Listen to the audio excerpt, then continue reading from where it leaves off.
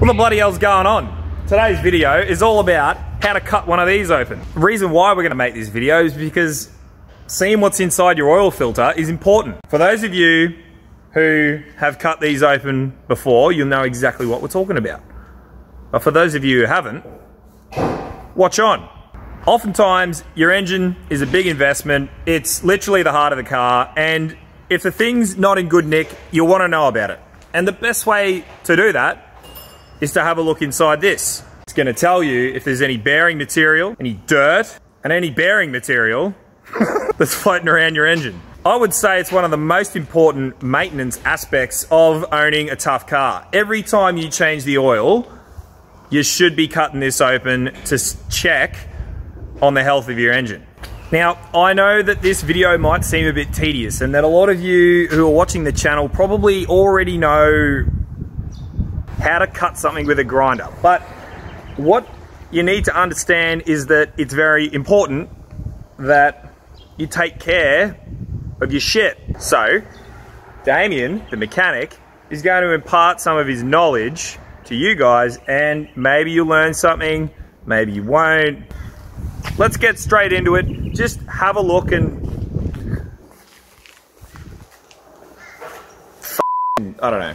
Let's go have a look. Damien's got it set up over here, so we'll go and have a look at like the stuff that you need to get it done. This is the gear that you need.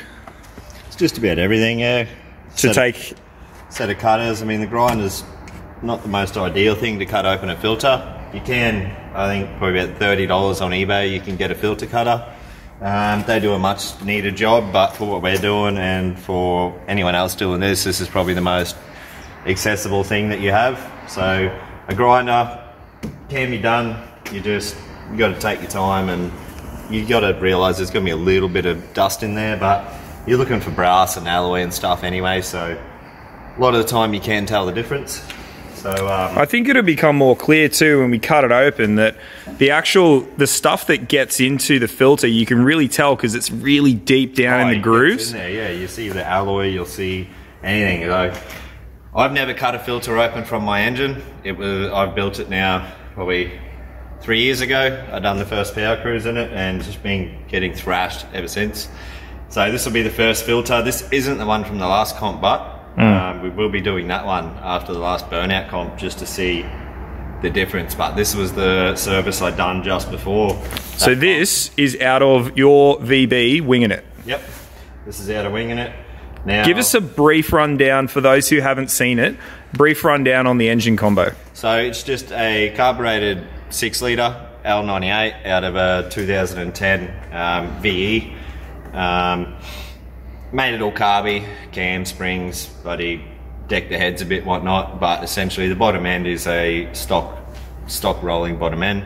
Um, just a bit of a cleanup, but um, yeah, I have not, other than the build probably after the straight after building it, we haven't actually opened up a filter as much as we should. But every meeting we change filter and oil. It's just not worth it, especially running ethanol. We run Penrite 10 tenths in everything, but every single meeting, new filter, new oil, same as the gearbox. And yeah, just the best way of keeping it fresh, keeping yeah. it alive. And it's been three years now, and there's no issues with the engine, so we'll see what's what's coming out of it. Cheap insurance, eh? Just the regular oil changes, especially when you're beating on it. Cheap insurance, definitely, because if you pick up a few little chunks in here, but the motor's still running good, well, chances are you could pull it down and get away with some new bearings. Whereas you let it go till it stops, well, you're up for whatever fucking whatever breaks, you know. So that's it. Um, So yeah, we'll cut this one open and press the oil out of it and see what's in there.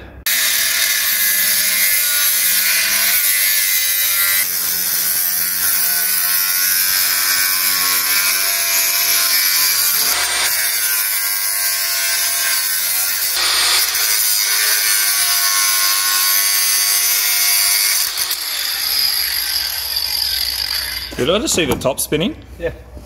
Just spun out of there. So just quick, just leave it like where it is. So smell that ethanol. Yeah, it does. It smells like E85. The um, you're not lopping the whole top off No. You're just cutting the outside. Yeah, so if you can just cut the skin, that's going to minimise the steel you get through there. You're not just fucking shit up for no reason. Yep. So, and then as you see in the video, then as soon as we got it free, the whole lot just spun, and now it's just, as you see, come apart. Stuff on the top, clearly that's just going to be, you know, all the stuff from grinding, but yeah, just turn a blind eye. The stuff in here is what we actually want to see. Thought it would have been drained a bit more, but oil seems to be holding in the filter pretty good. Uh, There's not much fuel in there then. you mean because it didn't catch fire? yeah. Well, that and the oil still got some consistency to it. Yeah. fills up full of fuel, it just runs out. So we might let that drain for five minutes and cut him open and have a look. So, next step, we're going to cut the element out, which is the element's the paper that actually does the filtering, like the filter part Yep. of the filter. So you got a couple of some tough, snippy things there, Yeah. scissors even. Some panthers or scissors, something you're going to be able to get right through and cut. Does make a bit of a mess, but I mean, you probably could go around with a knife or anything you want, really. Um, I've found just go through, cut it a few times until you get right around the other side, and then do the bottom, and should be able to just pull it out.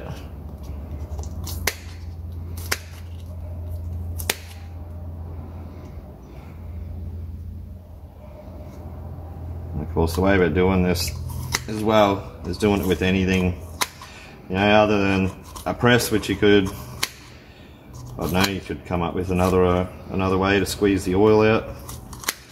Two blocks of wood under your car tire or something. but So what's um like? What do you mean by pressing pressing it? Like what's So what we're going to do, it just makes it a lot easier to see. I mean, a lot of, a lot of times, a lot of people will just pull that out and just have a look. But um, if you actually press it, you get rid of all the oil and it actually comes a lot clearer. And you can just, pretty much as clear as day, see what's in there.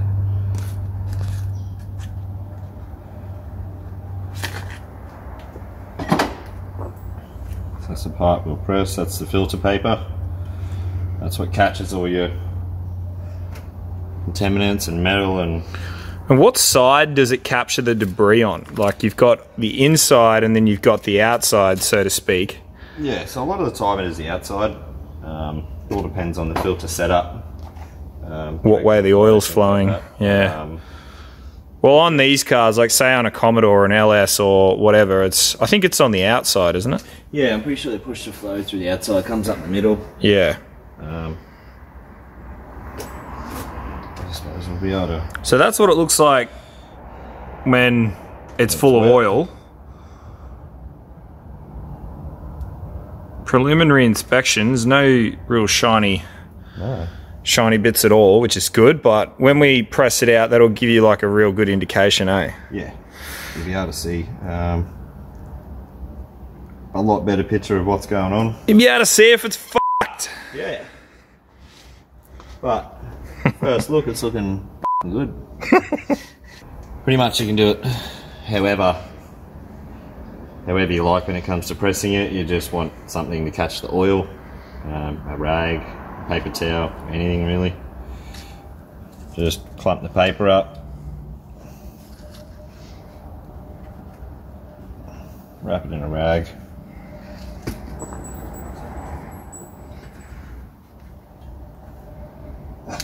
Now all we do is just have these two steel blocks.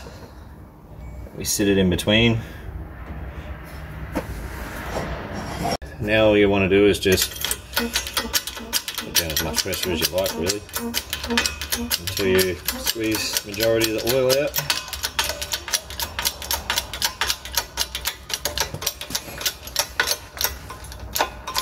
You'll probably see a bit come out the sides.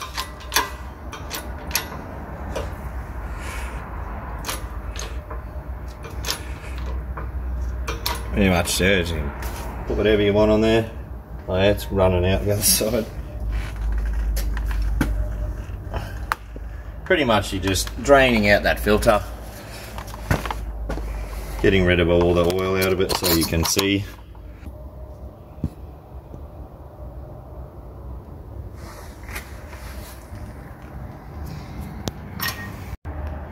That should just about do it. Leave it for a couple minutes. But get as much out as possible. You can do it a couple of times if the first time didn't get it dry enough for you. This is usually all we gotta do. Oh man, look at that. It completely changes color. Wow. Back to paper pretty much. Yeah. You can see another one in the background there. I think that's the one from Cuddles, actually. Yeah, it might be. I think it was. I was looking at it over there before. Anyway. Full the metal, so. Uh, Ooh. that is looking pretty clean. Is very, very clean. So usually, I know you probably see one little speckle of alloy there. That could be fucking anything. But looking for any chunks, any decent spots. It's probably the only flake.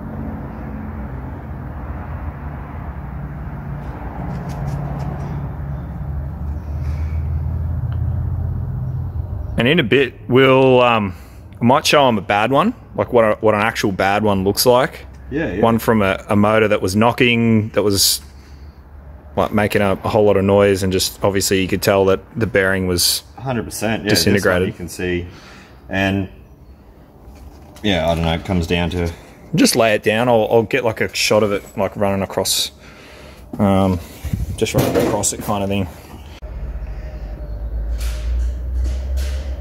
This is the one we just pressed out. Just give you a good look.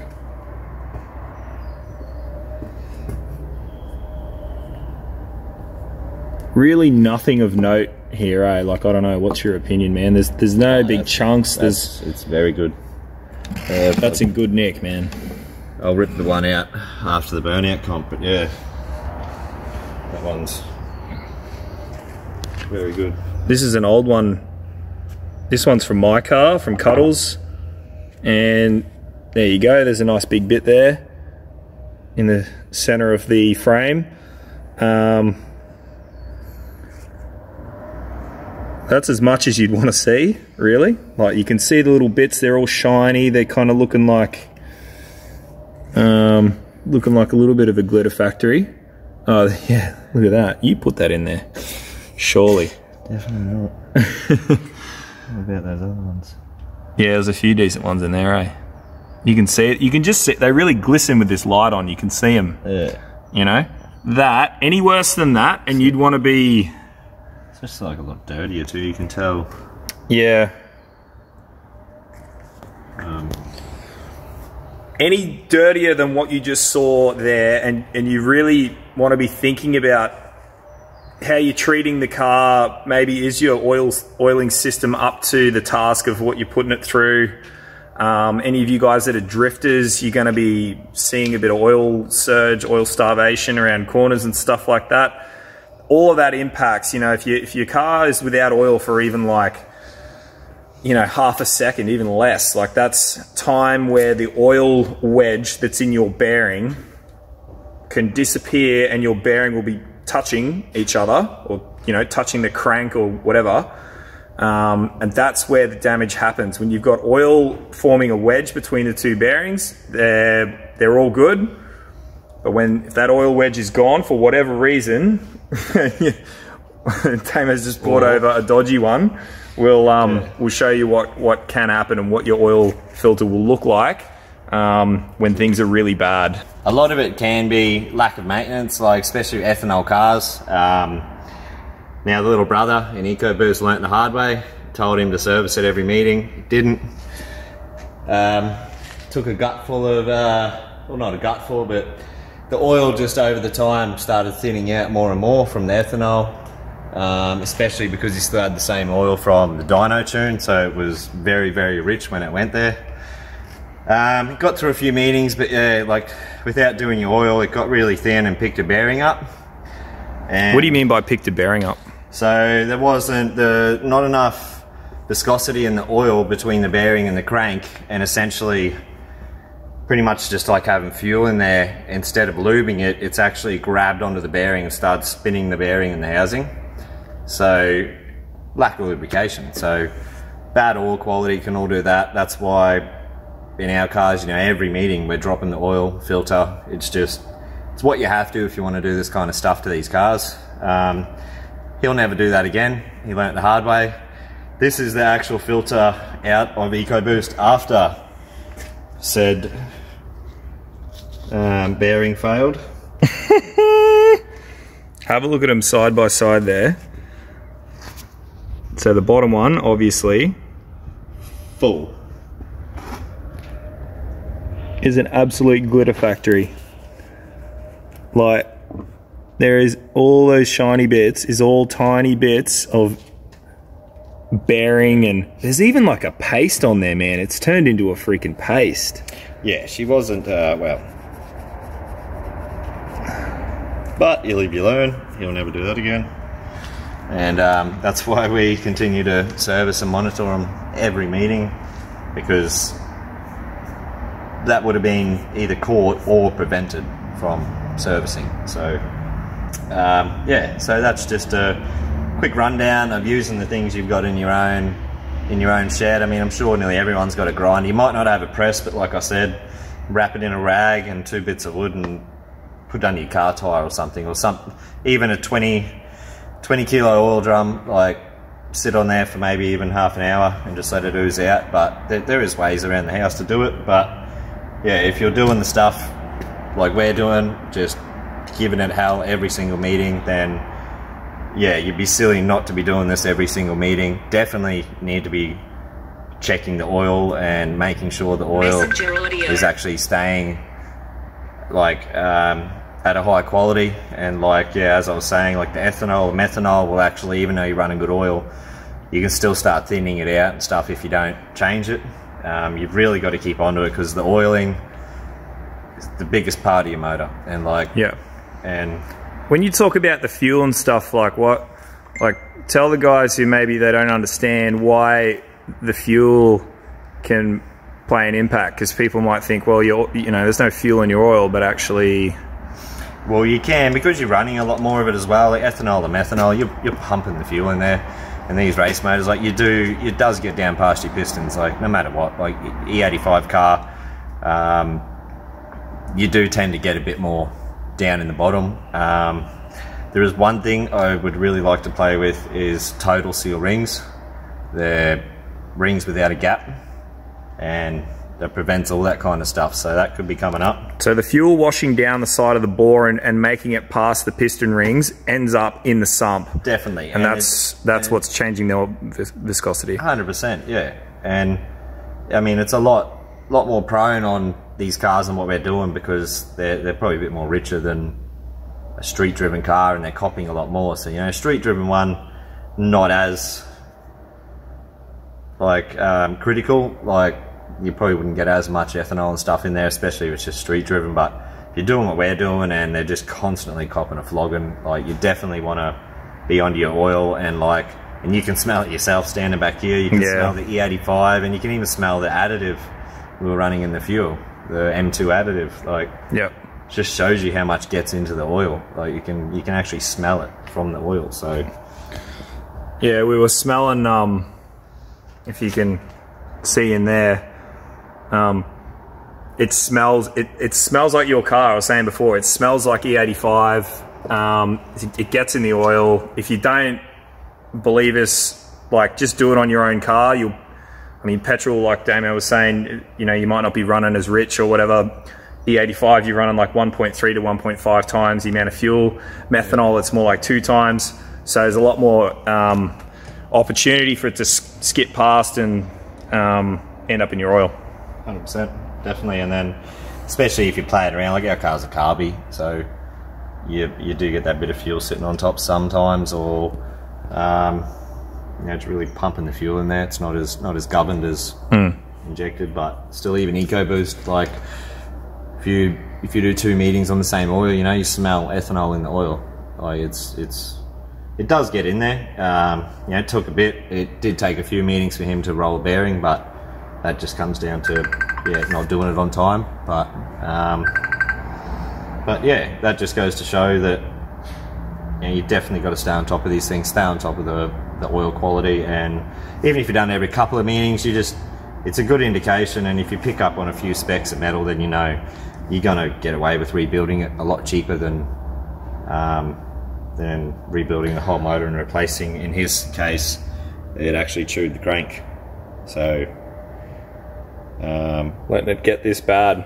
yeah, we actually ended up getting another wrecker motor and ripping the crank out of it to be able to use it. And that was all just from poor oil quality.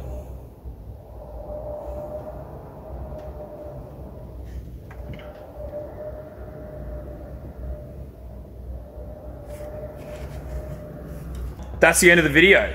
Um, hope you enjoyed it, uh, and most importantly, I hope you learned something from it. Um, if you did like this sort of stuff, leave us a comment down below.